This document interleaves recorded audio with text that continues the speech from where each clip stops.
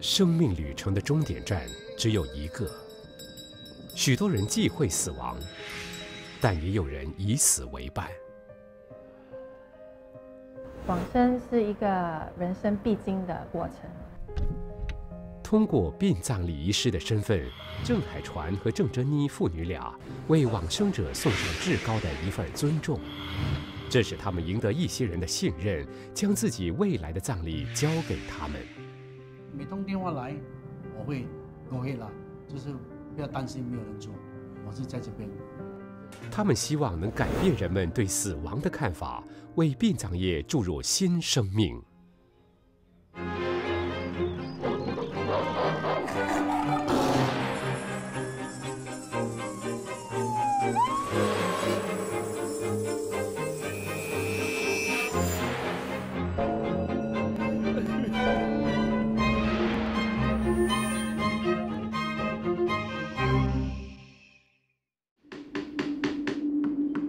行业向来就不是受人欢迎的一门专业，许多人对这行敬而远之。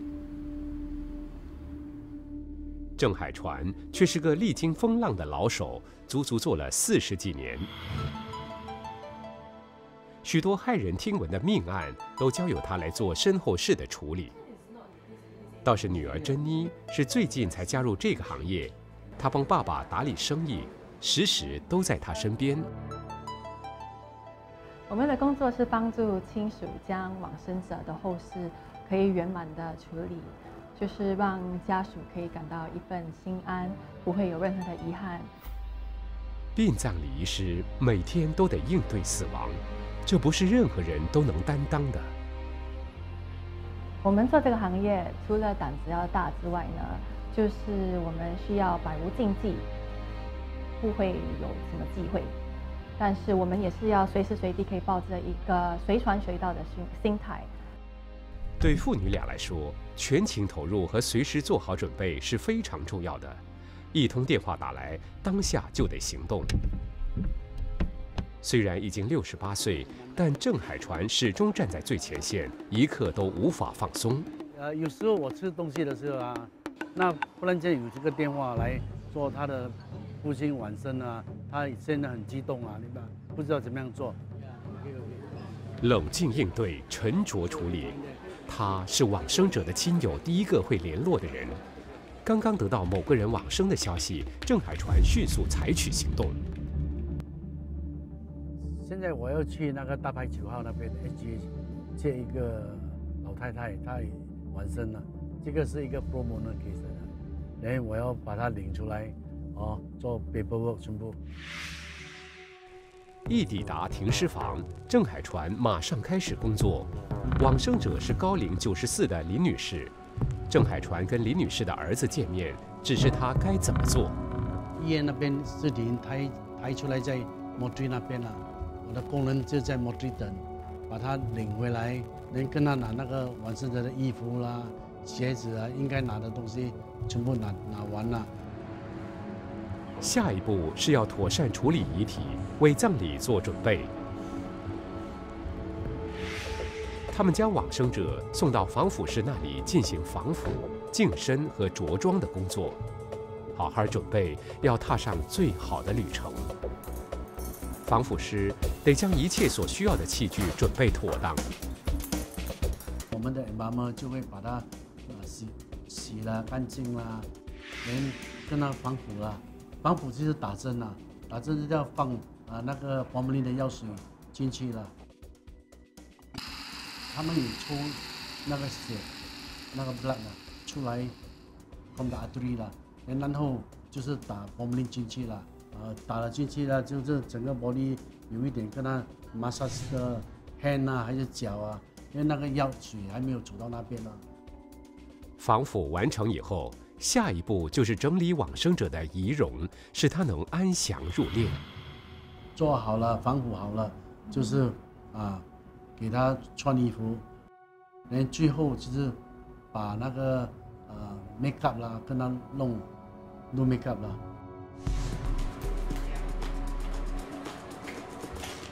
珍妮亲自给林女士上妆，补上最后的几笔，以确保林女士的样貌端庄好看。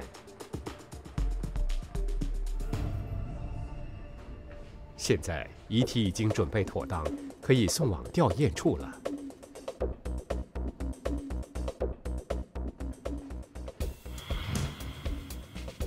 在吊唁处，他们会献上贡品，也会给往生的人安排所需要的宗教仪式。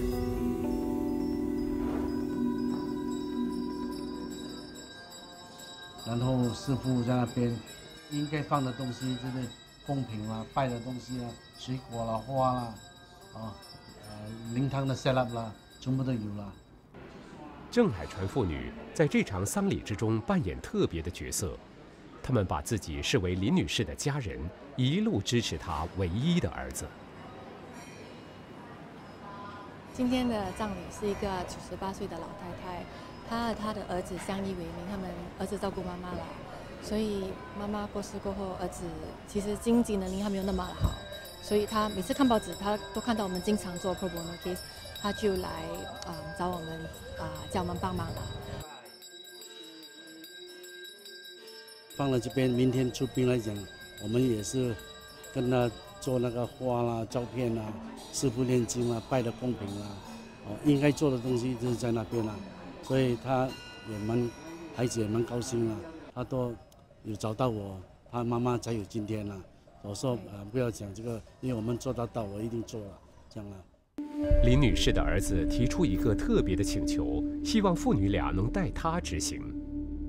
火化了以后呢，就是，他叫跟我讲那个骨灰要交给我出海了。我跟他讲我出海是蛮多个在一起了，因为。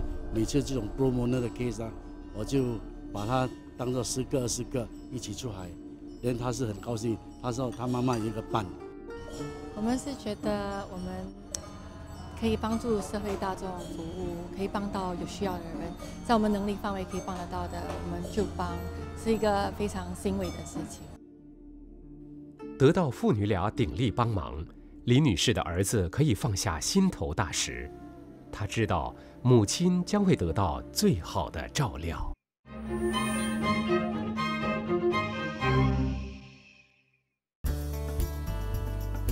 郑海传和女儿珍妮从不拒绝帮助穷人，他们免费给别人办身后事，而且还常常亲力亲为。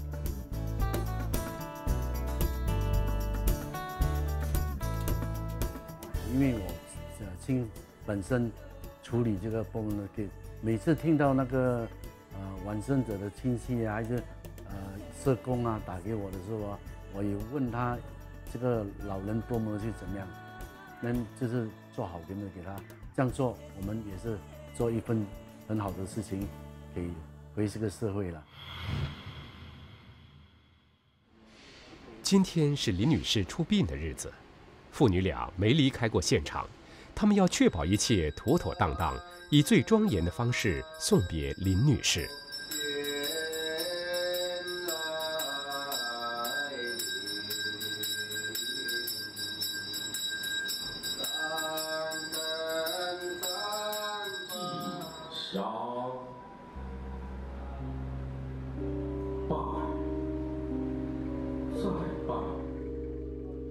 师傅为林女士诵经祈福的仪式完成以后，大家就准备要到火化场去了。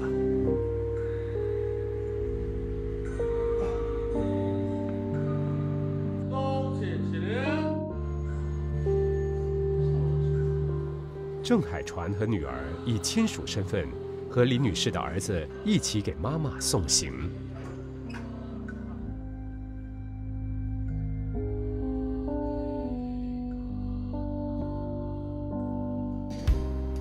在火化场，他们最后一次向林女士献上祭品，祝愿她一路好走。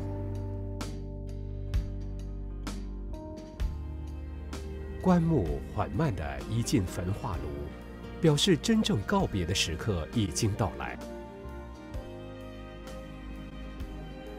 为有需要的人伸出援手，尤其在他们痛失亲人的时候，为他们给亲人送终。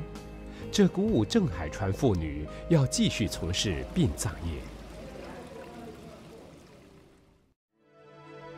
行侠仗义，心怀慈悲，郑海传当年踏入殡葬业，实在是一种缘分。我十三岁就离开学校，连帮我爸爸做卖咖啡了，卖咖啡的做到差不多二十多岁这样了。连有一天，我每天都跑那个殡仪馆拿咖啡给那个家属喝嘛，对。连有一天我爸爸妈妈完生了，连。爸爸晚生了，连这个咖啡店我也没有时间做了，呀，就把这个咖啡店改做那个这个光木安的这个寿板店，在这个拉米拉街，连就是在那时候进入这个寿板店的生意，入行到现在二十多岁，我今年是六十八岁了，我差不多啊做了有四十年了，因为经验老道。他的名号在殡葬业界可说是响当当的。本地多起残酷命案的受害者，最后都由郑海传顺利给他们办理了后事。海捕方式很多，我做在新加坡，在 MRT 那个 MRT 在文列那边啊，哦，刘红梅啦、黄娜啦这种啦，哦，都是还有很多啦，这是我本身处理是处理。就因为这样，许多老人家托人找上郑海传，要求他将来也给自己办丧事。我已经做了很多年嘛，哦，连好像老人家啦，还没有完事的时候，有的是会来找我说他没有钱，以后他完成怎么样？我说我给你名片，有什么事你叫你的谁打给我。对要求他帮忙的穷苦人家，郑海传总有份恻隐之心。他经常登门拜访，又往往不求回报。他们要拜访一位八十四岁的独居老伯，老伯一直心烦自己的身后事，不知道时该怎么办，所以在三个月前找上了郑海船。父女俩今天给李老伯送来一张新床，还给他买了晚餐。老伯心里觉得很温暖。他已经把他们当自己的家人。这个朋友讲，你你困就知道。啊。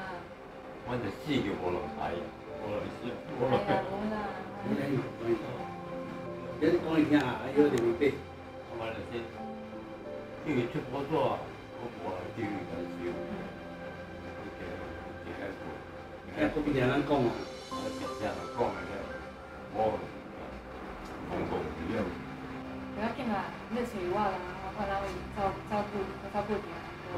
好，有闲话啊，他们让李老伯的心变得安定，不再那么焦虑不安。在某个程度上，这对父女填补了老伯没有亲人的遗憾。六八公公做你的了，刚才讲了什么六岁代志啊？我把这盘都拢种。就说恁心来放心，对不？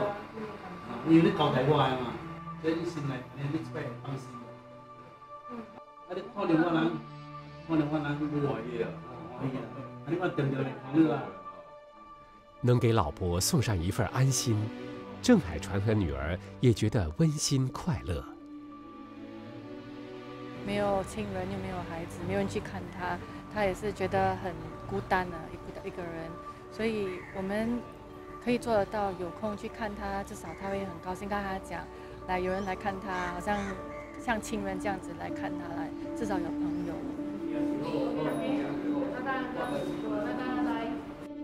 其实，殡葬礼仪师常常需要延伸爱心去处理葬礼以外的事，不断的付出，这样长时间的劳心劳力，竟然把郑海船的身体都给压垮。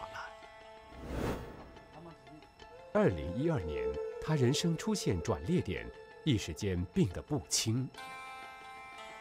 有一年，我本身有发生一点家庭的事情了，然后我就啊 stress 啊，跟 high blood 啊，心脏啊，heart problem 啊，就一个有一个呃 attack 来了，就是我要晕了，明白？然后我就进去那个医院了。紧张的生活使身体再也不能负荷，他需要额外的帮手。哎，我在医院那边呢，我女儿跟她朋友啊，啊来见我那个晚上，他们决定了。他说：“哎，爸爸，你这样年纪大了也生病，我们来帮你啦。”我就问他：“你决定吗？假如决定，那我心里面是很高兴，因为有后代人来接。”父亲的病促使珍妮加入了殡葬业。这年轻女孩有她自己的想法和期待，希望能实现目标。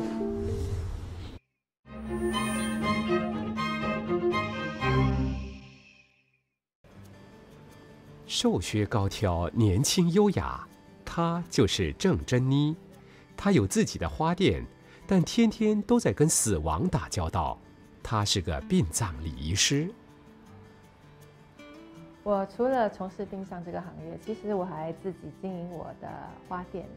那我加入我爸爸的公司，到现在已经大概两年了。珍妮拥有市场行销大学文凭，当年她连二十岁都不到，就对家庭生意产生了浓厚的兴趣。其实自从我十八岁，我就呃有跟我爸爸说，我是很有兴趣加入他的公司。那当时我是想做呃一一名防腐师，他是觉得我现在应该去把我的学业搞好了，然后做几年的工作，吸取一些工作的经验过后，我们才来谈这件事情。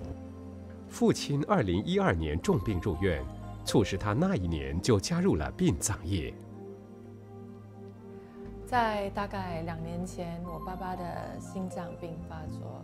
那我去医院看他的时候，我就跟他提议说，不如我加入你你的公司，帮忙你管理你的公司，这样你就不用那么辛苦。第一天上班是珍妮这辈子最难忘的一次经历。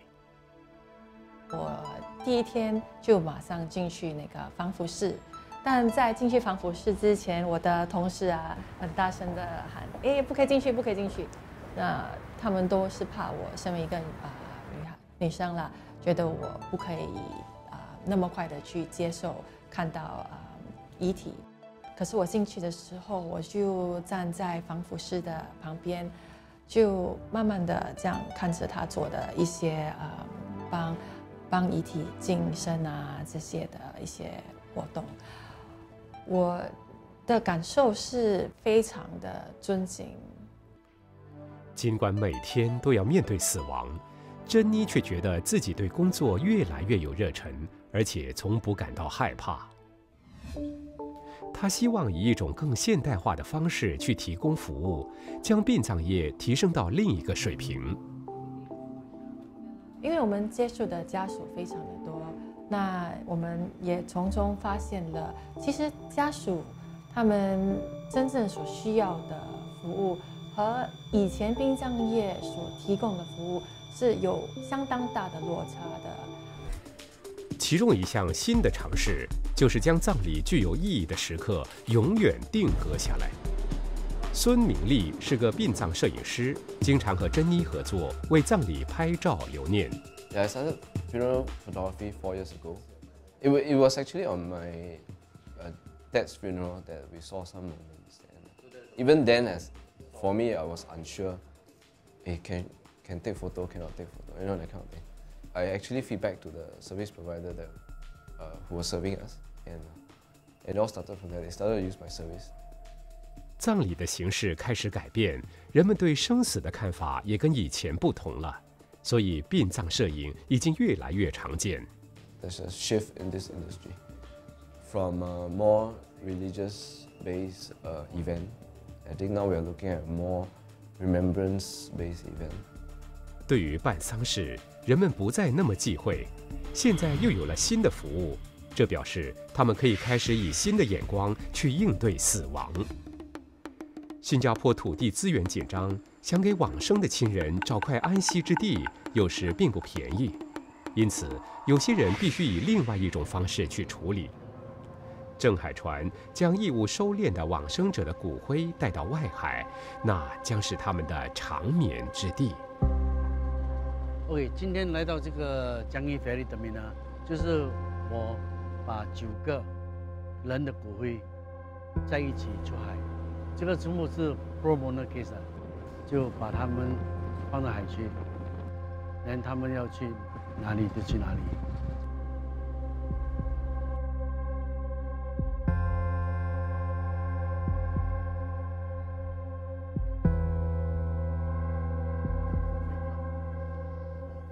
海面不太平静，风有点大，可是诵经仪式还是要进行。